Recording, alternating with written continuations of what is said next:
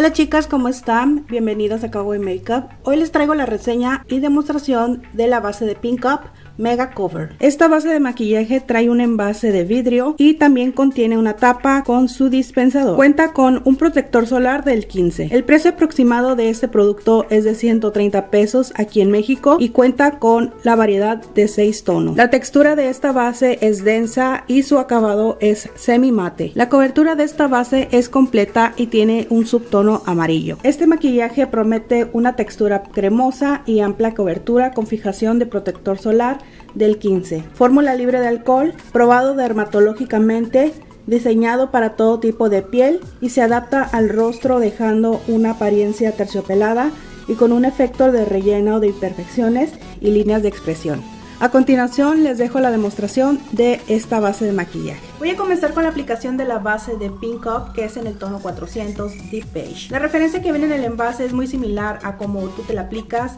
Esto nos va a ayudar muchísimo al momento de escoger el color. Así es como viene la textura de la base. Como ven es bastante densa y con una sola pompita tienes para aplicarte en todo el rostro. El nivel de oxidación de esta base no es demasiado, es muy muy poco.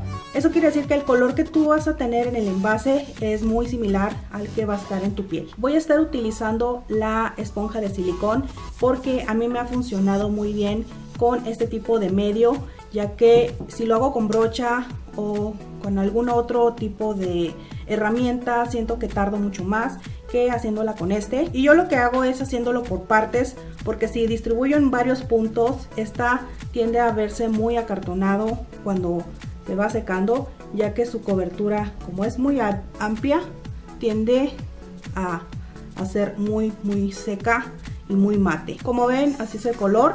Aparentemente cuando la aplicas se ve una capa muy, muy eh, pesada.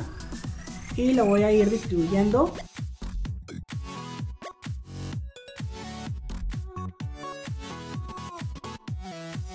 Ok, como ven, la cobertura de esta base es total. Esta base de maquillaje la puedes llegar a modular de una cobertura mediana a una cobertura amplia si es que tú colocas mucha cantidad. En mi caso ahorita le puse la cobertura total para que vieran cómo es que cubre esta base. Como ven es muy muy amarillenta, eh, puede llegar a verse como muy pastelosa, Principalmente en donde nosotros tenemos poros abiertos, se ven mucho más con este tipo de bases. Se ven muy muy abiertos, entonces para poder un poquito disimular voy a estar utilizando la esponja para disimular un poquito las rayaduras que puedo haber dejado de la herramienta anterior que es la Silly Sponge. Y me gusta dar este tipo de acabado al momento de ponerla porque como les digo es mucho más rápido para mí distribuirla así distribuir con la silly sponge y difuminar un poco encima. Y bueno chicas así es como se ve ya difuminada toda la base. Es obvio que yo omito un poquito el colocar esta base en la área de la ojera y en el párpado pero por cuestión de cobertura en color ahorita lo, lo hice para que vieran cómo es que cubre como ven tengo bastante rojez, bastantes granitos, bastantes imperfecciones que en una sola capa cubrió por completo esta base. En cuestión de color, como ven, es bastante amarilla. Eh, ahorita como está mi, piel, creo yo que es la que más se apega al color en cuestión en, cuello. Eh, sí se ve mucha cobertura, se ve que uno trae algo en el rostro, como pueden apreciar.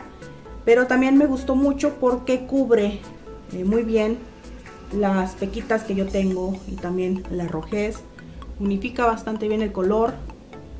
Y en cuestión de los poros, sí los llega a marcar mucho dejándola solamente con la Silly Sponge. Ya con la esponja lo disimula un poquito. El acabado de esta base, como ven, es media semi mate.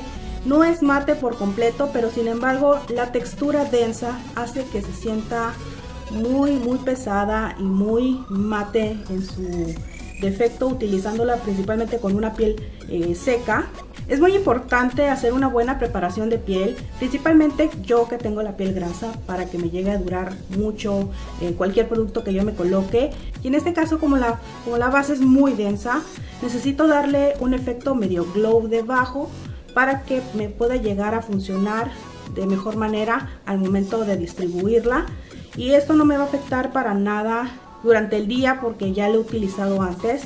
Yo estoy utilizando esta cremita que es de la marca de Laura Mercier que se llama Secret Finish, que esta yo lo utilizo como un primer que me deja un acabado medio, medio glow y esto hace que se acondicione la piel y aparte me haga un buen agarre de la base y para rellenar ciertos poros que es en esta zona y en la nariz estoy utilizando este de Revlon que es un poco siliconado que me hace un efecto de rellenador de poros no como tal porque no es un producto dedicado a eso, pero sí me está ayudando un poquito a disimularlos. Y bueno chicas, ya hice la aplicación total de esta base en mi rostro. Y como ven es un color bastante amarilloso, bastante mediano en tono beige. Y lo que puedo apreciar es que es una cobertura brutal, es una cobertura total. Si tú pones una segunda capa ya se ve muy muy pasteloso, te recomiendo que nada más sea una capa normal para que pueda llegarse a apreciar bien esta base de maquillaje. Y es muy muy importante que si le pases la esponja en esas áreas donde tú tengas poros abiertos como yo. Porque eh, si se van a marcar mucho, principalmente con la brocha. Es eh, una herramienta que me ha perjudicado en esas zonas. Eh, lo mejor es utilizar la esponjita húmeda para poder distribuir este tipo de productos que son muy muy densos.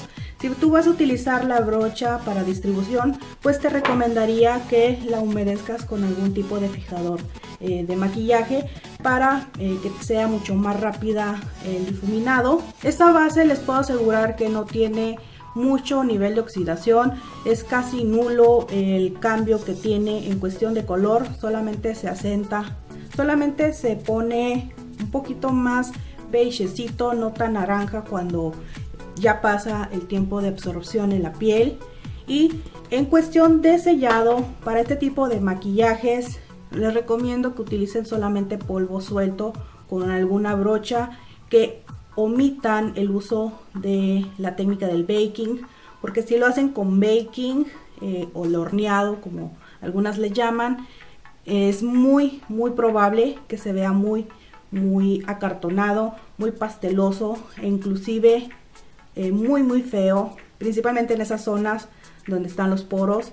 Y yo estoy utilizando, y utilizo polvos translúcidos, que en este caso sería este de arroz, que sí tiene un poquito de color, pero es mucho más translúcido que, que el color. Pero también puedo utilizar estos que son como en HD para sellar ese tipo de bases y que no se corran durante el día. En, este, en esta ocasión voy a estar utilizando este de, City Color y les recomiendo que omitan por favor el uso de esos polvos que sean compactos con mucha cobertura como sería el, de Bisú, el de MAC o pues algún otro que se parezca como este que este es mucha cobertura ustedes lo, lo pueden apreciar al momento de tomarlo, vean cuánto es la cobertura que tiene. Y sin embargo, si uno agarra con, con un polvo translúcido, es muy muy finito y no aporta tanta cobertura, solamente te ayuda a sellar, como les comento. Y pues voy a pasarlo por todo el rostro. Y bueno chicas, con esto concluyo la aplicación de esta base de maquillaje. Y bueno chicas, les voy a dar mi opinión acerca de la base de Pink Up y considero que esta base durante todo el lapso que yo la traigo puesta no me ha sacado tanto brillo, a mí principalmente me sale mucho brillo en la zona de la nariz y con el uso de esta base no me saca mucho brillo y es algo que me gusta. También otra cosa que me ha gustado mucho es que la cobertura que tiene es completa, como ustedes vieron en la demostración, es prácticamente como si nos pusiéramos otra piel encima y puede tender a verse un poquito amarilla ya que cuando uno coloca mucha base, principalmente con una capa sobre otra sobre otra, se puede llegar a apreciar mucha pigmentación y esta cobertura con una sola capa pues la obtienes y eso me ha gustado también mucho. Esta base no se oxida como otras que tienes que esperarte un ratito para que se asiente y pues llegue a verse del color que va a quedar la base.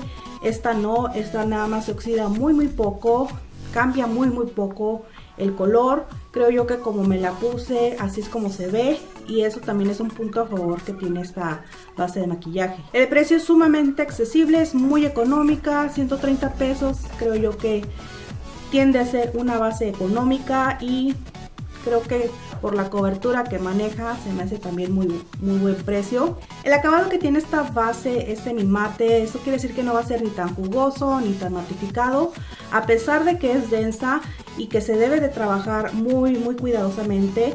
El acabado final te, te permite trabajarlo como tú quieras ya sea poniendo mucho polvo, pues te, hace un poquito más mate, o si le quieres poner como muy poquito, pues te permite tener ese efecto como medio jugosito, natural, como si fuese una piel sana con este tipo de base. Otro punto a favor es que contiene dispensador y eso se me hace muy práctico e higiénico para poder tomar la base. Solamente que tiene un pero cuestión del el dispensador es que viene como medio defectuoso. Cuando tú le eh, apachurras tiende a, a como a quedarse trabado y me imagino que esto depende mucho por cómo es la textura de la base que es súper densa. Si fuese un poquito más líquida pues saldría súper fácil, pero como es muy densa el dispensador le cuesta trabajo eh, sacarlo, pero de ahí en fuera pues se me hace muy bien que contenga ese tipo de elementos esta base. Ahora vienen los contras que tiene esta base y toda la experiencia que les digo es en base a mi piel que es grasa. Esta base es muy densa y muy complicada de distribuir si uno se coloca varios puntos en todo el rostro y empiezas a distribuir una zona, la otra zona que ya vas a distribuir tiende a secarse y es mucho más batalloso poderla difuminar. Creo yo que de la manera que yo le la aplico es mucho más rápido y no batallas tanto porque al utilizar la Silly Sponge lo que hace es que distribuye el producto como, como tal, no se lo absorbe y si lo haces directamente con la esponjita creo yo que retiene mucho producto y no lo aplica como debe de ser eh, y tiende a verse un poquito más o menos más parchoso que distribuyéndolo con la Silly Sponge. E inclusive con la brocha tengo que utilizar un fijador de maquillaje extra para poder ayudarle a que se distribuya esta base. Y por cualquier herramienta que yo llegue a utilizar eh, es preferible para mí hacerlo de esta manera con la Silly Sponge y después difuminar un poco con la esponja tradicional un poquito húmeda. Esta base de maquillaje marca muchísimo las líneas de expresión y los poros. Cuando tú te la vas colocando te vas dando cuenta que en donde tienes el poro muy muy abierto se ve completamente que existe ese poro. Entonces creo que eh, ese tipo de bases no es tan beneficioso para aquellas personas que como yo tenemos mucho poro abierto. Creo yo que tienes que trabajar un poquito con rellenador de poros, eh, rellenador de líneas de expresión para que pueda llegar a funcionar de mejor manera y te ayude a la apariencia de tu piel. También otro contra que le vi es que creo yo que si no tienes una piel exfoliada, una piel limpia, principalmente en el área de aquí de la nariz. Tiende a verse como medio arenoso cuando te la sellas con algún polvo. Se ve como sucio. Entonces tienes que trabajar también muchísimo la piel, tenerla súper limpia, súper exfoliada, sin ningún punto negro. Que, que se sienta la piel muy muy bien hidratada. En, en, ocasiones si tienes la piel muy seca, pues muy humectada para que pueda verse de mejor manera esta base de maquillaje. Creo que ese efecto en la nariz me ha sacado como que de mis casillas porque es algo que yo le meto mucho empeño en limpiarme la piel como para que una base de maquillaje me haga que suceda esto. Creo que prefiero como que utilizarla poco porque no me gusta mucho lo que hace. Otra cosa que no me gusta es que se transfiere. Si uno pasa un poquito en un pañuelo, una toallita, aunque sube la mano, se puede llegar a transferir. Se siente que se vino la base. Aunque utilices un buen primer, este se viene. Entonces eso tampoco me ha gustado del todo. Y principalmente si uno pues llega a sudar, principalmente yo que sudo aquí en la frente, me pasa un poquito la toallita, pues ya se me viene toda la base, entonces se me ve parchoso, se me ve como que ah, por ahí viene un, la línea de, se ve como que ahí viene el caminito de la gotita y esto no me gustó del todo tampoco, creo que ah, es una de las bases que definitivamente no, no sé, no sé, como que no se adhiere mucho, principalmente en la piel grasa. Y hablando de piel seca, creo que en la piel seca se ve muy acartonada, muy muy fea desde que tú la vas colocando, se ve como esas grietitas que, que tiende a verse como si fuese un piso todo seco, así se ve y tampoco es algo que le beneficie a la piel seca. En piel grasa la duración de esta base no se me hace del todo larga, simplemente es una duración moderada, entre 6 a 7 horas es más o menos lo que me llega a durar esta base, que te estoy diciendo que esta base se puede llegar a apreciar, que dura esa cantidad de horas, que no se, que no se vea como que, tienes eh, ya las imperfecciones notorias, en algunas zonas pues ya se va a ver que, que, se, que se corrió, que se eh, transfirió, principalmente yo que tengo lentes, cualquier base se me transfiere en las dos eh, cositas que tiene aquí para agarrar las, los lentes, ahí es donde siempre tengo los huequitos de los lentes. Y esta base en toda esta zona, siempre, siempre, siempre, ya a las 6-7 horas se ve como que ya está como metido en las líneas de expresión, hecha como rollito, se ve como, como si, no sé, como, como si la base caminara en la piel, que se vaya resbalando y también eso no me gustó. Otra cosa que le veo es que no tiene muchos tonos y por tal motivo creo que tienes que hacer mezclas para poder encontrar tu tono adecuado. Yo me pongo este color y creo que me queda bien en contraste con mi cuello, pero a veces me ve muy bronceado si utilizo otro tipo de polvo con algún color o eh, no sé, depende mucho eh, cómo quiera yo ver la piel.